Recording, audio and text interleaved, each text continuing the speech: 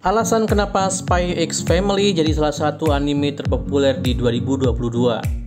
Spy X Family merupakan komik Jepang karya Tatsuya Endo yang baru-baru ini diadaptasi menjadi anime di musim semi 2022. Anime ini menceritakan tentang seorang mata-mata yang harus membuat sebuah keluarga demi menjalankan misinya. Twilight, nama dari kode dari mata-mata tersebut, mengadopsi seorang anak perempuan yang nantinya dituntut untuk memasuki sebuah sekolah terkemuka ia membuat identitas baru bernama Lloyd Forger dan menjalani kehidupan layaknya seorang ayah. Mengingat komiknya saja telah menarik banyak pembaca, pembuat adaptasi anime kali ini disambut dengan penuh antusias. Lalu mengapa anime shonen ini begitu populer? Yuk, simak alasannya berikut ini. Yang pertama, plot cerita yang unik dan gak membosankan. Untuk kamu yang menyukai genre kehidupan berbalut komedi dan aksi, anime ini layak untuk kamu tonton. Ketiga karakter di dalam cerita memiliki kemampuan yang berbeda-beda, namun mereka saling menyembunyikan identitas dan menjalani kehidupan keluarga kecil yang harmonis. Twilight, si mata-mata profesional dari Westalis, mendapatkan misi untuk memata-matai Donovan Desmond, seorang politisi yang bermasalah. Untuk menjalankan misinya, Twilight perlu membuat sebuah keluarga palsu. Ia kemudian mengadopsi seorang anak bernama Anya dan membuat identitas baru yaitu Lloyd Verger.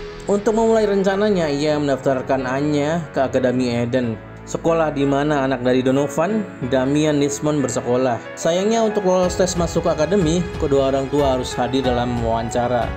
Untuk itu, Lloyd mencari istri kontrak yang mau berperan sebagai ibu Anya. Orang tersebut adalah Yor Diar. Ternyata Yuri yang dikenal sebagai pegawai kantoran menyembunyikan identitas aslinya sebagai pembunuh bayaran. Yang membuat cerita semakin menarik dan hidup adalah Anya, anak adopsi Lloyd yang ternyata bisa membaca pikiran. Namun kedua orang tua angkatnya tidak tahu jika Anya mempunyai kemampuan itu. Anya mengetahui pekerjaan Lloyd dan Yuri dengan membaca pikiran mereka. Saking bolosnya ia menganggap pekerjaan mereka sangat mengasihkan dan mendebarkan. Mantap. Yang kedua adalah komedi konyol yang pas.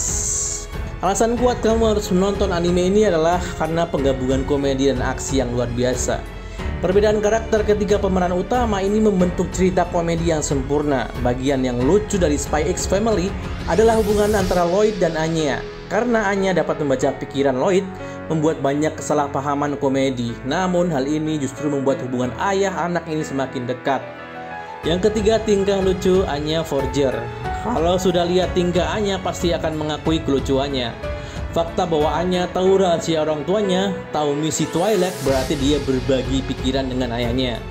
Anya selalu berusaha untuk tampil baik demi misi ayahnya. Meskipun ia hanya seorang anak berusia 6 tahun, kemauan Anya untuk mencoba apa yang diinginkan ayahnya sangat baik. Tetapi kebingungan dan kesalahpahamannya yang sering terjadi menambah lapisan komedi sehingga menyeimbangkan drama dan ketegangan yang dibangun oleh misi Twilight.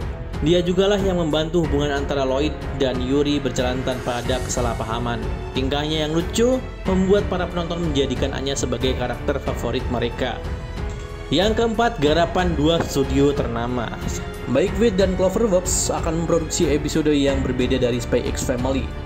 Wit Studio akan memproduksi episode ganjil, sedangkan Clover akan memproduksi episode genap. Wit Studio terkenal akan kualitasnya yang memukau dan mendetail. Sudah jelas kolaborasi antara dua studio tersebut akan membuat Spy X Family sangat layak dinantikan.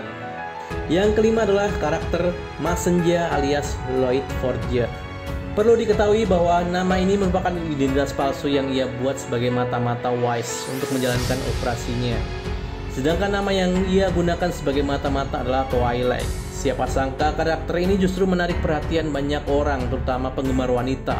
Karena wajahnya yang rupawan, tak bisa dipungkiri jika karakter ini menjadi salah satu daya tarik anime Spy X Family yang membuatnya semakin terkenal. Oke, gimana guys pendapat kalian? Tulis di komentar ya.